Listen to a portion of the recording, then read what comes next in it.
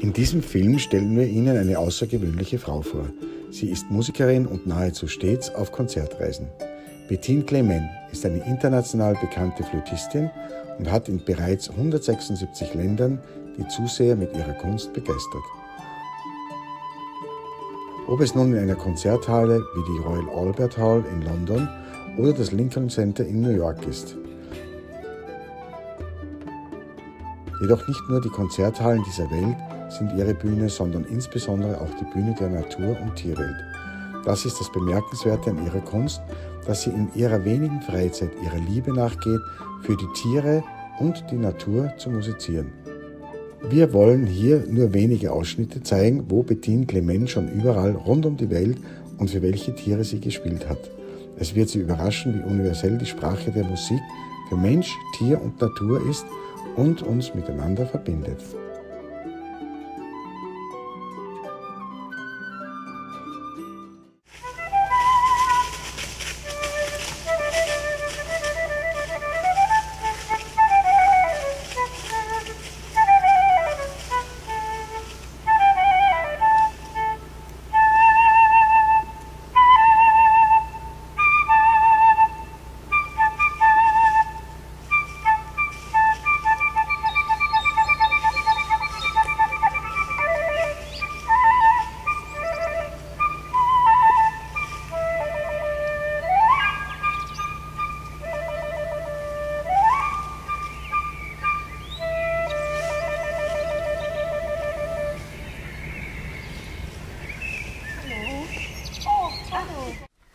Bettine, das Vogelkonzert fand ich bezaubernd. Aber würdest du gern mal für äh, Rotwild spielen? Ich habe hier ein Gehege gesehen. Vielleicht könnten wir rübergehen. Sehr ich spaziere hier oft. Sehr, sehr ja? Gern. ja, das würde ich wirklich gern, gern mal probieren, wie die auf die Musik und auf die Flöte, auf die Indianerflöte reagieren. Sehr, sehr gern. Okay, dann marschieren wir rüber. Ja, gut.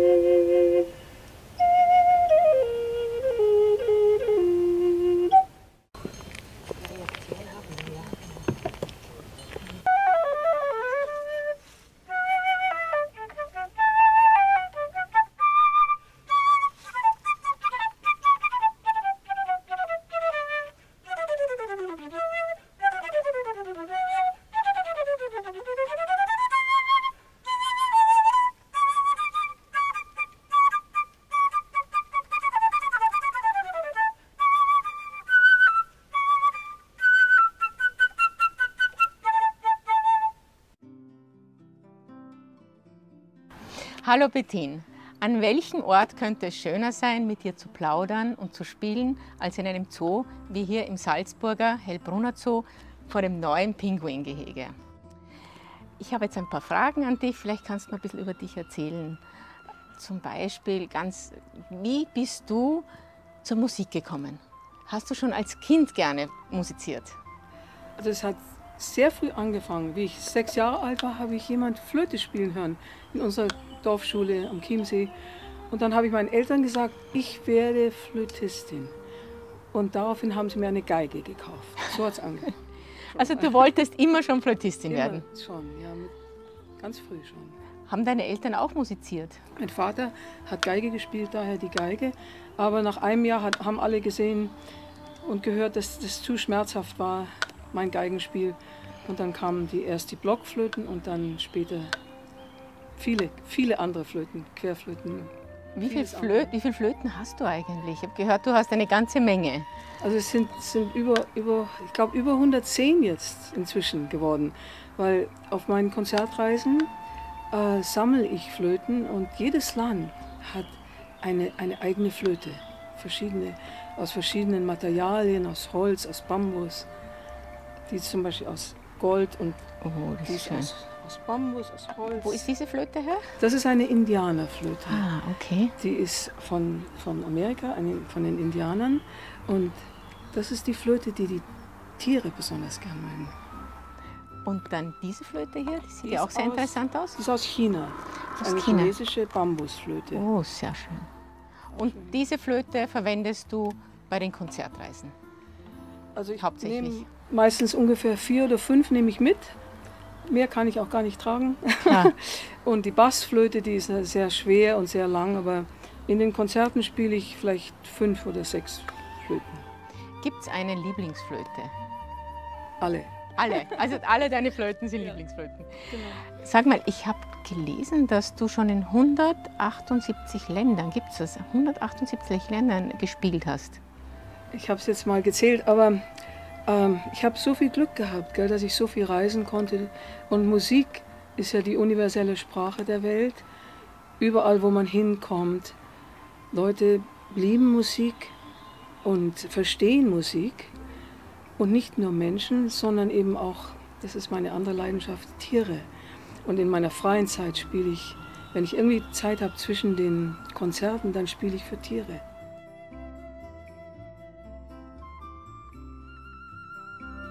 Bettine, kannst du mir erzählen, in welchen Ländern, wenn du auf Konzertreisen warst, hast du mit Tieren gespielt und mit welchen Tieren?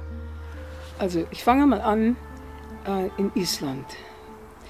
Und ich war sehr oft in Island und da habe ich für die Islandpferde gespielt. Und das war wirklich immer wunderbar. Ähm, kamen, also wilde, wilde Islandpferde auf der Weide irgendwo, die kamen und sind mir nachgefolgt und äh, dann kamen sie ganz nah ran und sind sehr, sehr sensibel und sehr an der Musik interessiert. Und in Island habe ich auch für Wasserfälle gespielt, das war auch ganz, ganz wunderbar. Und dann äh, in Bali ähm, war ich auch oft und in Bali habe ich für einen Orangutan gespielt und der hat dann meine Indianerflöte genommen, hat selber gespielt, hat Töne rausbekommen aus dieser Flöte und wollte sie nicht mehr hergeben. Es war wirklich, wirklich ganz herzberührend. Er wollte sie wirklich nicht mehr hergeben. Und dann in Südafrika habe ich für Elefanten gespielt. Oh, wie schön. Und da waren diese riesigen, äh, wilden Elefanten, die standen so vor mir ganz nah auch. Erst habe ich ihnen Äpfel gegeben und dann haben sie zur Musik sich so hin und her bewegt. Das war auch herrlich. Und für Löwen, Oh, für Löwen. ja. Toll. Aber da habe ich eben auch ganz vorsichtig sie gefragt, habt ihr am Abend vorher gut gefressen oder habt ihr gute Mahlzeit gehabt? Ja. Das ist schon wichtig bei den Da- Das glaube ich, das glaube ich. Und ähm, die waren auch, aber woll- wollten auch die Musik hören. Die Tiere lieben Musik. Dann äh, für Tiger in Thailand. Tiger, muss man auch fragen, ob sie gute Mahlzeit gehabt haben. Aber es sind auch ganz besondere Tiere, wunderschöne Die Tiere. sind ja wunderschön. Man sieht es ja hier, die sind wirklich Das sieht wunderschön. man, gell? Ja, ja, ganz elegant. Elegant und sehr, sehr, also mächtig eigentlich und voller Kraft. Und dann für Pinguine habe ich sehr viel gespielt. Also zum Beispiel in Südamerika, wo ich auch mal gelebt habe. Ich war im Orchester in Brasilien und hatte das, das große Privileg für 250.000 Pinguine zu spielen. Hast du sie alle gezählt? Und die sind natürlich, die kommen immer im Frack, Ja. die sind immer sehr schön angezogen, kommen ganz nah und hören wirklich zu. Und, und Schön. Lieben Musik auch, gell? Ja, und dann äh, eine uralte Schildkröte, für die habe ich auf St. Helena, das ist Oh, eine ja. kleine Insel da bei Afrika, gespielt. Und diese Schildkröte war 220 Jahre alt. Und äh, ich habe auch übrigens sehr viel für Kühe gespielt. Also ich glaube, wir unterschätzen Kühe Kühe sind sehr gescheite Tiere. Ja. und, und auch sehr, sehr sensibel. Mhm. Also zum Beispiel in Amerika habe ich mal für 140 Kühe und Bullen ges gespielt und Bullen kamen auch sehr nah. Da wurde es mir ein bisschen anders, aber, aber die, wollten alle auch zuhören. Und hier auf so einer Almwiese habe ich einfach viele Konzerte in der Natur gegeben. Ja, gell? schön. Und zum Beispiel für, für viele Kühe und die kamen dann vom Hügel so runter, die hatten alle Glocken an Mhm. und man hörte die Glocken und plötzlich keine Glocken mehr, weil sie standen alle so nah und haben alle zugehört. Oh, wie schön.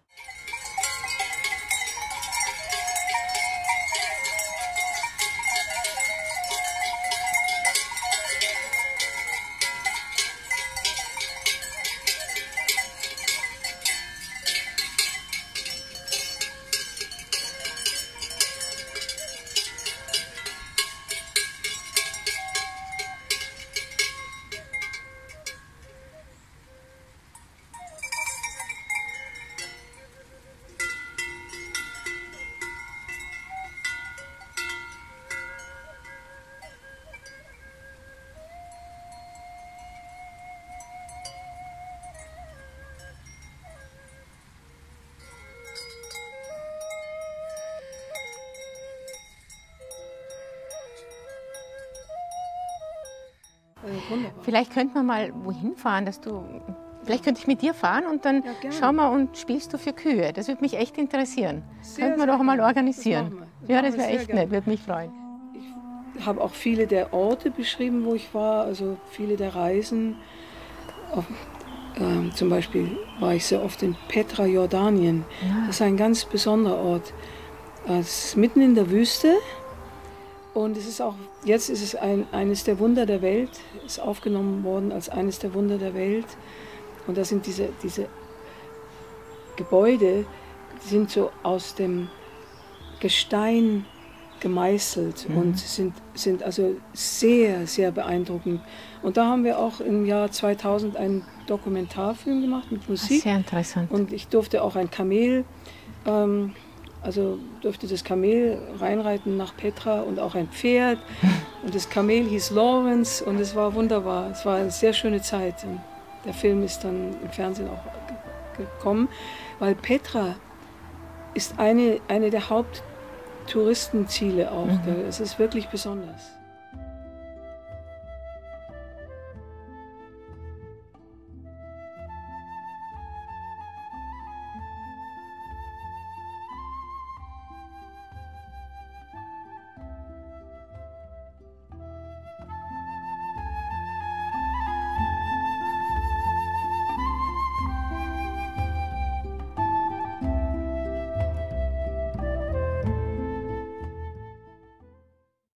Du hattest ein wirklich aufregendes und erfülltes Leben mit deinen, mit deinen Flöten.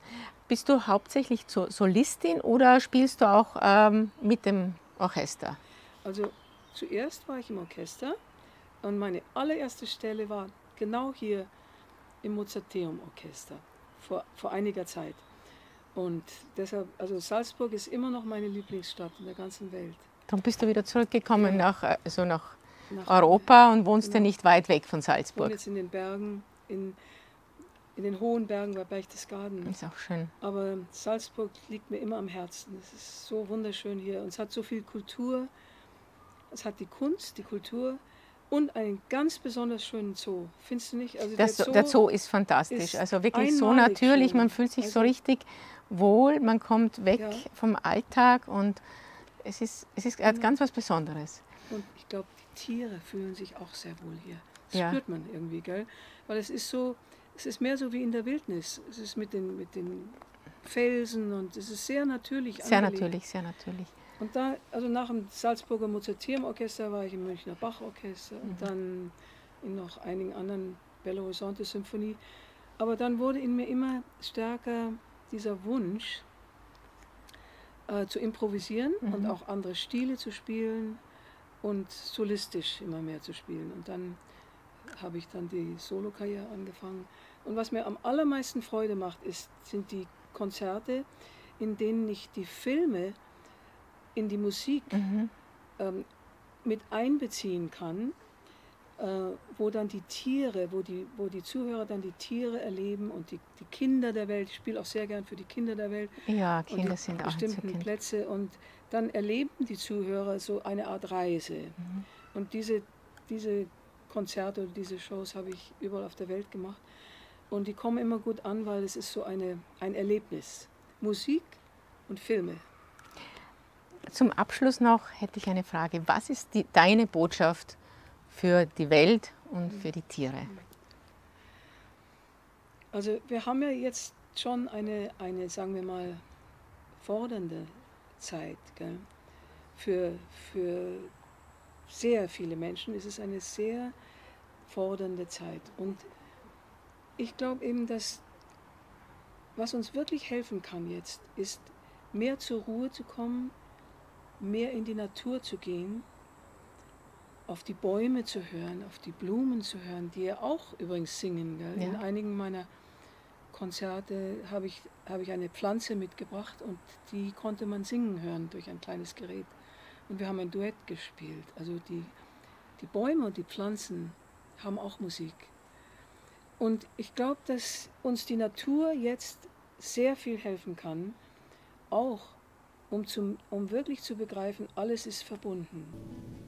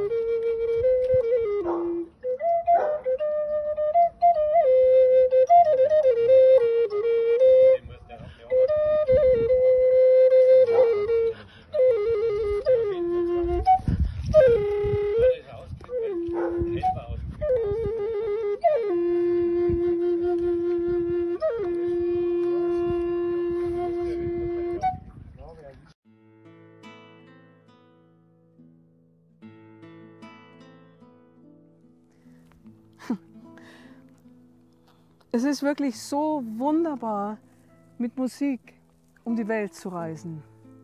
Aber jetzt sind wir hier in Salzburg, in der Nähe von Salzburg, in den Alpen mit Willi und Rudi. und bin einfach immer wieder so dankbar, dass die Musik mir so viele Türen öffnet. So wie eine Brücke die die unterschiedlichsten Kulturen und Rassen und Systeme miteinander verbindet. Ohne Worte. Ja, alles Leben ist wirklich mit Musik und Klang und Liebe verbunden. Aber eben nicht nur Menschen sind von der Musik berührt und durchdrungen, sondern eben auch Tiere, und Blumen und Pflanzen und Bäume. die Natur und die Tiere heilen uns Menschen und helfen uns. Und ich finde, es ist nicht nur einfach selbstverständlich, sondern wichtiger als je zuvor, dass wir alle Lebensformen mit viel Liebe und Fürsorge und Mitgefühl und Respekt behandeln. Und dann können wir alle zusammen ein Liebeslied für unseren Planeten spielen und singen.